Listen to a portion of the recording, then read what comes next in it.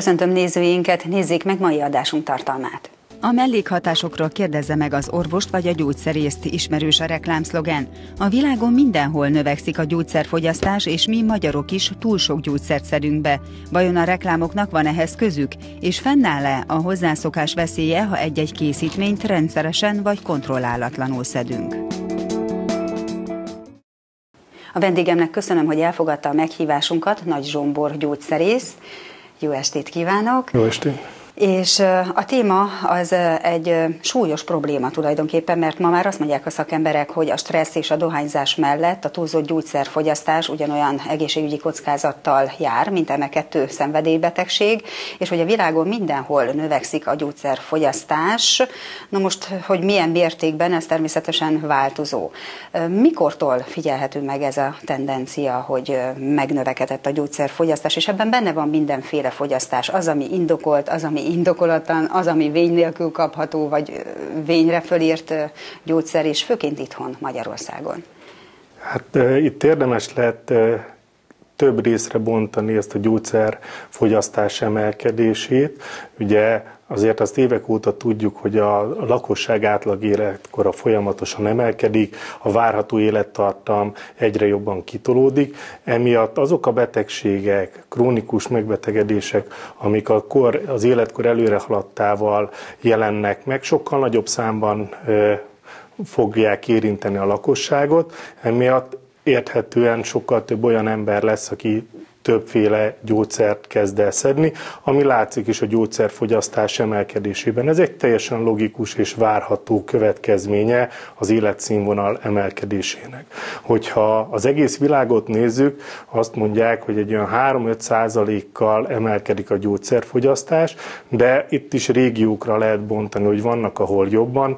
Ez mindig a kiindulási alaptól függ. Tehát egy olyan országban mondjuk távol-keleten, Kínában, ahol relatíve alacsonyabb volt a gyógyszerfogyasztás, egy sokkal gyorsabb és markánsabb növekedés tapasztalható. Európában, ahol már azért régi hagyománya van a különböző gyógyszereknek, itt is van növekedés, de itt nem olyan mértékű, de így átlagban el lehet mondani, hogy azért minden évben nő. Magyarország egy ilyen elég speciális helyzetben van, mert nálunk is az európai átlagnál talán kicsit gyorsabban nő. Tehát teljesen igaz az az észrevétel, hogy egyre több gyógyszert szedünk. Ennek részben ezek a megbetegedések és az életkorral összefüggő gyógyszerek lehetnek, a másik, hogy valóban vannak olyan egyéb faktorok, például a tévéreklámok, amik nem a vényköteles gyógyszerfogyasztást fogják ösztönözni, hanem azokat a reklám által sugalt probléma megoldást, amit mindenki maga próbál megoldani. Természetesen erről még fogunk beszélgetni, mert ez egy nagyon fontos szegmense ennek a kérdéskörnek, és fogunk igyekezni azon, hogy ne emlegessünk konkrétan gyógyszerneveket, de hogyha visszatérünk arra, és egy picit megvilágítjuk azt, hogy ugye a nyugati orvoslás, a nyugati medicina eleve a gyógyszerkészítményekkel való gyógyításon alapul, vagy arra alapszik, akkor összefüggésbe hozható -e ez azzal, hogy a gyógyszerek ilyen rohamosan fejlődnek, széles körben körben terjednek, illetve hát ugye az összetevőket is, meg a hatóanyagokat is fejlesztik folyamatosan, tehát hogy ez a fajta rohamos fejlődés a medicinának, ez az ága mennyire van kihatással a fogyasztásra is? Okokozati összefüggés van, tehát minél többféle gyógyszerből lehet választani, annál könnyebben fogják a betegek és az orvosok is megtalálni azokat a készítményeket, amit ha kiírnak receptre, akkor a beteg kiváltja, beszedi, hogy meggyógyuljon. Ami itt azért fontos, hogy sajnálatos módon azért a betegek egy részében is az elmúlt években már kialakult egy olyan hát úgymond probléma, hogyha nem kap egy receptet, nem írnak föl valaki gyógyszert, akkor úgymond hiába valónak érzi az, az egész orvossal való találkozást, mert hát akkor nem is vagyok beteg, hogyha nem kapok egy receptet, hát milyen dolog ez, és ezért egy ilyen ördögi kör kialakul, hogy ha bár nem kellene, mégiscsak ki kell írni valamit, mert a betegnek egyszerűen hiányérzete marad abban az esetben, hogyha kap egy válveregetést, és azt mondják az influenzájára, hogy ó, várjon két-három napot, vegyen be egy lázcsillapítót, vagy, vagy fájdalomcsillapítót, hogyha rosszul érzi magát, és jöjjön vissza akkor, hogyha romlik az állapota. Ez nem biztos, hogy elég már egy mai betegnek, és ilyenkor inkább kell még valami receptet adni, hogy elégedetten távozzon, amiből következik, hogy azt, ha kiváltják, egyre többet fog, egyre, több, egy ilyen, tehát egyre több gyógyszert kezdenek el szedni, aminek lehet, hogy mellékhatása lesz, és nem meggyógyul, hanem gyakorlatilag lehet, hogy még egy rosszabb állapotba kerül, vagy nem ugyanannyi idő alatt gyógyul meg, mint hogyha nem szedett volna semmit. Tehát akkor ebben vannak feleslegesen beszedett vagy bevett gyógyszerek, vagy felírt gyógyszerek is, azt gondolja? Én úgy gondolom, hogy egy, egy enyhe influenza, ami már gyakorlatilag 100 évvel ezelőtt is volt, 20 évvel ezelőtt is, nem feltétlenül szükséges 3-4 gyógyszert szedni rá, amikor tudjuk, hogy így is úgy is 4-5 nap pihenéssel meg lehetne gyógyulni. Az más kérdés, hogy nem biztos, hogy az embernek van 4-5 napja erre, és ilyenkor próbálja ezt felgyorsítani, és hát van, amikor meg is lehet ezt tenni, és gyorsabban meggyógyul, de igazából inkább ki kellene várni ezt az időt. Jó az, hogy rengeteg új gyógyszer van a piacon, nyilván a gyógyszergyártónak, forgalmazónak nagyon jó gazdasági szempontok alapján, de hogy, hogy amikor az orvos választ, vagy a betegnek célirányosan egy-egy terápiához szükségeltetik egy készítmény, jó, ha több mindenből van választék, vagy több mindenből lehet választani? Mi erről a szakvélemény? Hát mindenképpen jobb, mert hogy gazdaságosabbá lehet tenni a gyógyítást.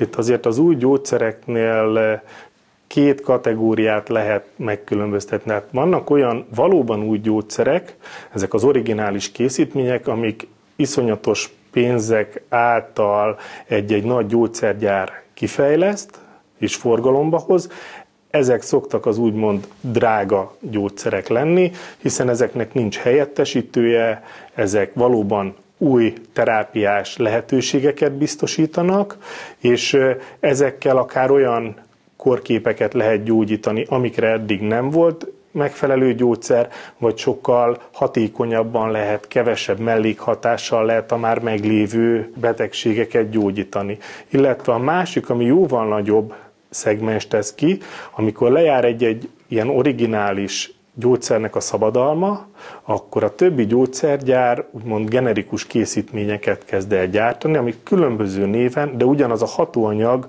kerül forgalomba. Ebből egy ilyen szabadalom lejárta után 10-15 féle néven is, de ugyanaz a gyógyszer forgalomba kerül, emiatt árverseny alakul ki, tehát ez lejjebb tudja szorítani a terápiás költségeket, és hát valóban az elmúlt években volt olyan példa, amikor akár a 40-50 ezer forintos gyógyszerárak egy-két év alatt lementek 5-7 ezer forintra, ami a terápia szempontjából nagyon nagy különbséget jelent, sokkal többen hozzáférhetnek egy úgymond korszerű terápiához. És készítményhez is. Ezeket a generikus készítményeket támogatja inkább az OEP, vagy pedig ez nem függ attól, hogy az OEP melyik vagy milyen készítményeket támogat nagyobb mértékben, hogy az az eredeti, vagy a, annak az, egy fajtája. Hasonló. Az eredeti készítményeknél igazából van egy kis kivárás azért, hogy bebizonyosodjon, hogy tényleg hatékony, tényleg kevés a mellékhatás, hogy ad valami olyan pluszt, ami miatt érdemes megfelelő támogatásban részesíteni, hiszen itt 10-20 ezer forintos készítményekről van szó havi terápiás szinten, amit hogyha megfelelően támogatnak, még mindig lehet, hogy 3-4 ezer forintba fog kerülni, de azért nagy, a különbség a kettő között. A generikus készítményeknél pedig vagy a nagyon régi már valóban elavult terápiának a lecserélése lenne a cél, hogy ne kelljen naponta háromszor, négyszer bevenni egy gyógyszert, hanem legyen elég egyszer, maximum kétszer bevenni, kevesebb mellékhatása legyen, kevesebb gyógyszerinterakció alakuljon ki, hogyha többféle gyógyszert szed valaki, és itt is megfelelő támogatásban részesítik, és ez érződik is, hogyha a beteg nem ragaszkodik egy dobozhoz, hanem úgymond egy hatóanyagot szeretne bevenni, akkor a napi terápiás költségben, amit ne, vagy havi terápiában akár több ezer forintos eltérés lehet ugyanazon készítmények között. Közben eszembe jutott, hogy itthon Magyarországon ön szerint drágák-e a gyógyszerek, mert azért ez némi ellentmondást is takar az, hogy túl sok gyógyszert szedünk, meg egyébként a magyar ember panaszkodik arra sokszor, hogy drágák bizonyos készítmények. Nyilvánvalóan ez gyógyszerektől függ, készítményektől függ, de ha mondjuk népbetegségeket nézünk, magas vérnyomás vagy allergia, akkor ezek a készítmények milyen áron kaphatóak itthon, vagy érhetőek el? Szerint itthon? én úgy tapasztalom, hogy ha az ember elfogadja azokat az észszerű helyettesítéseket, amit a szakember ajánl, akkor nem, hát nem, nem drágák, hanem jó áron vannak, tehát akár olcsók is lehetnek a gyógyszerek, hiszen nagyon gyakran van, hogy aki külföldön van és visszajön Magyarországra, akár fél éves gyógyszert kivált, és viszi magával, mikor visszamegy akár dolgozni, mert nagyon nagy különbségek vannak akár az angliai, angliai gyógyszerárak és a magyarországi gyógyszerárak között, támogatástól függetlenül is. Uh-huh.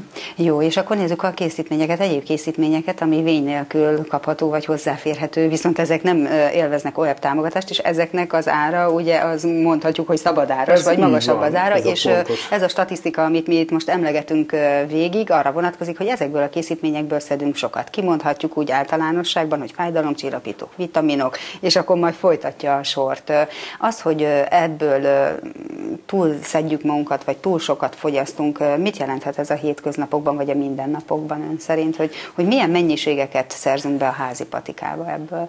Önmagában az, hogy ezeknek a készítményeknek a fogyása nő, az nem lenne probléma, hiszen egy nagyon felpörgött világban élünk, nagyon sok fiatalnak, középkorúnak egyszerűen nincs ideje, kedve, akarata elmenni a házi orvoshoz egy-egy kisebb fertőzésnél, egy influenzánál, hanem inkább megpróbálja gyorsan megoldani, és a szakemberhez fordul, ilyen esetben jó eséllyel meg is fog gyógyulni. Tehát ha nem csinálna semmit, akkor is meggyógyulna, hogyha itt adunk valami gyógyszert, hogy a kö, jobban érezze magát, erre még rásegítünk a megfelelő terápiával, biztos, hogy gyorsabban fog meggyógyulni, jobban érzi magát, és nem terheljük fölöslegesen a házi orvost sem, hiszen azért egy ilyen influenza szezonban, amikor 100-150 embert kellene neki is egyesével megnézni, igen. nincs, aki bírná kapacitással. Jó, de ezért tegyük hozzá rögtön, hogy ezt nem így magunk döntjük el, hogy akkor most ez a készítmény erre vagy arra a tünetre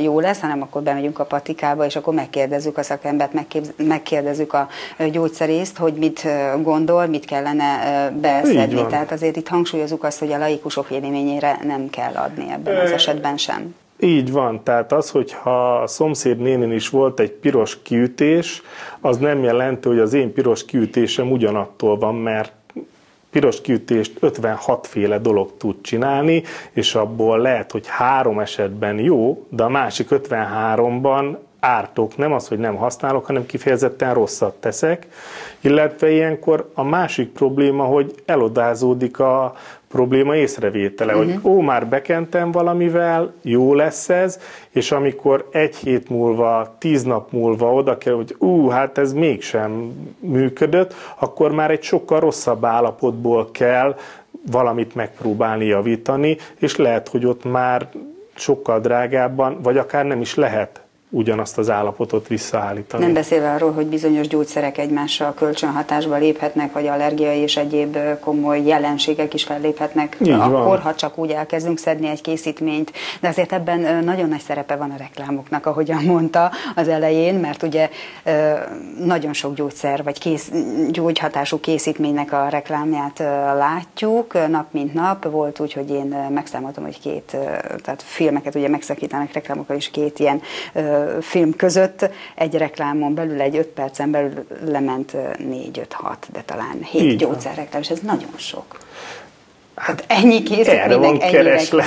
Erre van kereslet. Tehát. Itt azért az fontos, hogy tehát valóban ez a piac növekedik, egyre többen szeretnének úgy meggyógyulni, hogy ne kelljen egy fél napot a sorba állniuk egy rendelőben, házi orvosnál, szakrendelőben. Tehát egy nagyon fogékonyak vagyunk, úgymond ezekre a reklámokra. Itt azért az érdemes megfigyel, odafigyelni, hogy azért egy megfázás terápiájában nincsen nagyon sok variáció, tehát gyakorlatilag három, két-háromféle hatóanyaggal lehet variálni, és ezekben a készítményekben, hogyha valaki tudatosan megnézi és összehasonlítja, ki fog derülni, hogy döntően ugyanazok a hatóanyagok vannak benne, és ilyenkor mindig abból van a probléma, hogy beszedi az egyiket, ú, nem vagyok olyan jól, beveszi a másikat, ami igazából ugyanaz, és akkor már duplán, triplán, vagy akár ötszörösen is beveszi ugyanazokat a gyógyszereket, amit az élet más területén nem tennénk meg. Tehát ha egy leves sótlan, nem fogok háromféle sóból beletenni egy kanállal, hogy hát ha jó lesz. És itt a gyógyszereknél sajnos, mivel más a doboz, más a neve, ugyanaz van benne, mégis az ember megteszi, és ebből valóban nagyon sok probléma lehet, amit utána sokkal nehezebb rendbe tenni. Igen, egyrészt az, hogy nagyon sok probléma lehet belőle, másrészt az, hogy tényleg akár egy bizonyos készítmény nem szedése vagy elhagyása nélkül is ugyanúgy meg lehetne abból a banális náthából, vagy akármi másból gyógyulni. Nyilván itt most nem azért a komolyabb betegségekről beszélünk, vagy a krónikus betegségekről beszélünk. Ami egy érdekes statisztikát hoztam el, egy 2014-es felmérés, ami szerint nagyon sokszor feleslegesen szedünk be hashajtókat, altatókat, hallgatókat, nyugtatókat, orcseppeket, becslések szerint 100 ezer hashajtó függő, 70 ezer altató és nyugtató függő, és közel 25 ezer orcsepp függő van ma Magyarországon ez nekem elég soknak bizonyult ez a szám, nem beszélve arról, hogy a növekvő gyógyszerfüggőség, hiszen ez a cikk annak nevezi, egyik oka az internet megjelenése, ahol nem csak plusz információkat kaphatunk bizonyos készítményekről, gyógyszerekről, hanem sok esetben feketén vagy illegálisan is be lehet szerezni bizonyos készítményeket. No, ez megint megér majd egy külön fejezetet itt most ebben a beszélgetésben, hogyha azt nézzük, hogy tényleg az interneten az információkat megtaláljuk a készítményekről, akkor ha valaki keres gyógyszerről, hol keressen, hol érdemes érdemes, hol talál megbízható információt? Hát az orvosánál, gyógyszerészénél első körben. Az interneten nagyon sok információt meg lehet találni. Itt az egyetlen probléma, hogy nagyon nehéz különbséget tenni az információk minőségek között, és ugye egy beteg ember meg szeretne gyógyulni, hogyha az interneten biztos, hogy talál olyan mankót, kapaszkodót, ami, ú, ez pont olyan, amire nekem szükségem van, de ez nem jelenti azt, hogy valóban az ő problémájára jelenteni a megoldást. És gyakorlatilag hamis ábrándokat lehet kergetni, az esetek egy részében van benne igazság, csak ugye senki nem azt a részét domborítja ki, a készítményének, hogy milyen problémát jelentett, hanem azt, hogy mire jó. És itt azért a korrekt tájékoztatáshoz hozzátartozik, amit azért az orvostól, gyógyszerésztől el lehet várni, és el is kell várni, hogy milyen áldozatok árán lehet ezt az javulást, ezt az eredményt elérni.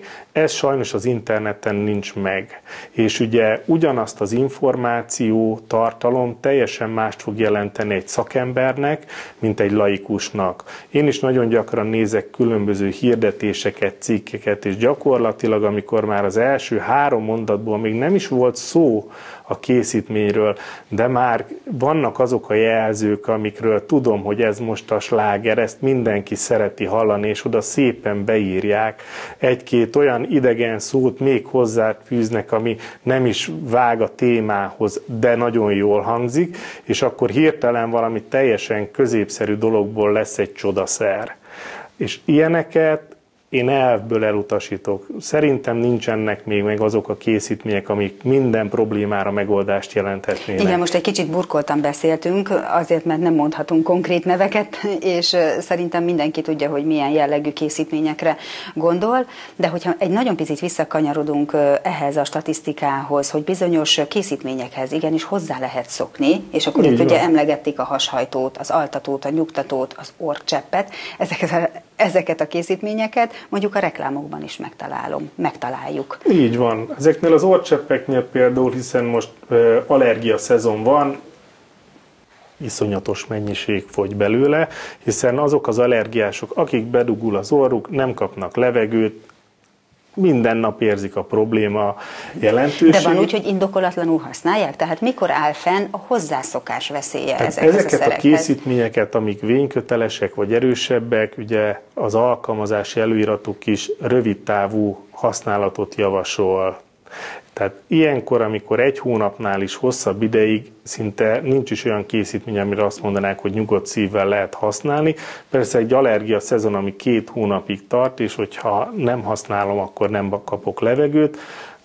Vannak időbeni túllépések. Ez önmagában nem feltétlenül nem fog súlyos problémát okozni, de ha valaki rendszeresen csinálja... Mondjuk altató, nyugtató, és kontrollálatlanul. Pont ugyanez a, tehát az altatóknál is egy átmeneti alvászavar kezelésére jó. Ha valaki már egy hónapja nem tudta kialudni magát, ott valamit csinálni kell, mert akkor az immunrendszere legyengül, még stresszesebb lesz, sokkal több káros hatása van a kialvatlanságnak, mint amit egy altató okozna. De hogyha már ez megfordul, és az alvás, altató nélkül nem megy az alvás, és nagyon sok ilyen van, aki már 20 éve szed. Nem erre lett igazából kitalálva, hanem akkor biztos, hogy van valami háttérben meghúzódó ok, amit, hogyha kivizsgálnánk, meg lehetne oldani ezt a problémát. Erre van pont az altatókhoz kapcsolódóan ilyen alváscentrumok, ahol megnézik, hogy nincs -e például valami légzési probléma a háttérben, és azért alszik rosszul valaki felületesen, mert nem kap rendesen levegőt, és erre meg lehet oldani. Vagy hogyha van valami lelki problémája, nagyon gyakran ugye altatóhoz nyúlnak, hogyha valami haláleset volt a családban, hogy nem tudja kipihenni magát.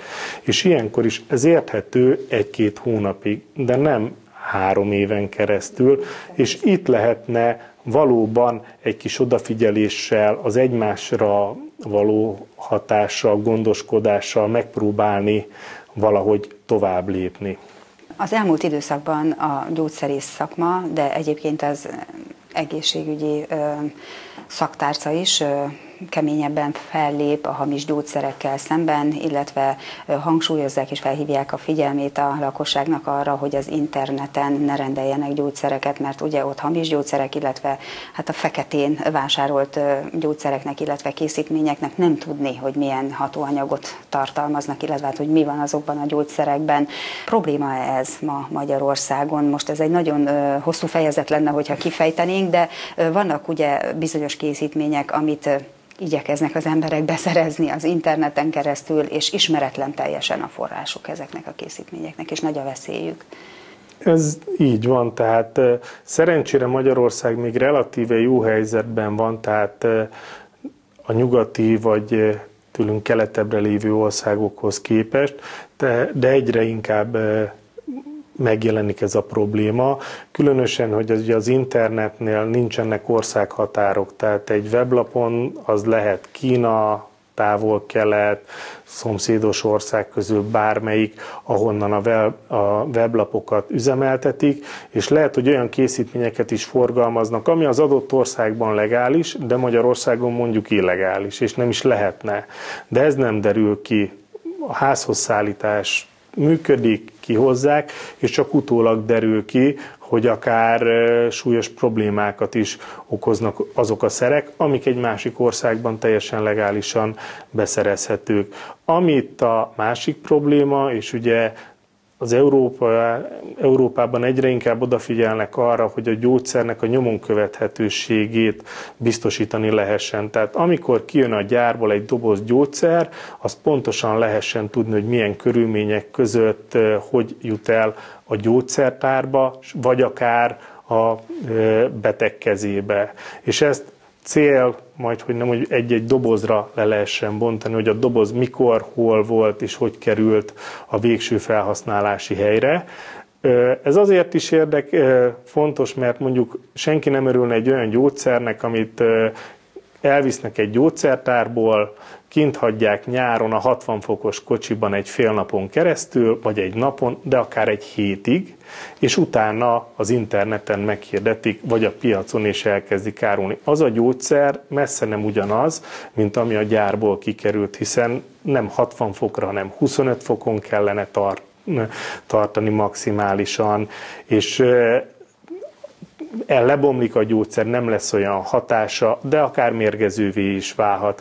És ilyenkor nem is lehet ezeket a készítményeket használni, ezeket csak megsemmisíteni lehet. Ezért van az például, hogy azok a gyógyszerek, amikor a gyógyszertárból kikerülnek, hiába tudom, hogy előző nap, és ismerem az illetőt, aki elvitte, nem vehetem vissza tőle, hiszen nem tudom, hogy mi történt ebben az egy napban, vagy akár abban az egy órában. És hát szabályba ütköző. Így van, ez törvényileg tilos. Ezt úgy lehet csak visszavenni, hogy küldöm megsemmisítésre. Tehát ez gyakorlatilag kvázi egy kukaként funkcionálhat, hogy akkor visszaveszem, de az már emberi felhasználásra nem kerülhet. Ugyanaz a sorsa, mint a hamis gyógyszereknek, hogyha a hatóság pedig... megtalálja a hamis gyógyszereket. Köszönöm szépen, hogy eljött hozzánk és beszélgethetünk erről a témáról. A nézőknek a figyelmet köszönöm, legközelebb egy hónap múlva találkozhatnak ezzel a műsorral viszontlátásra.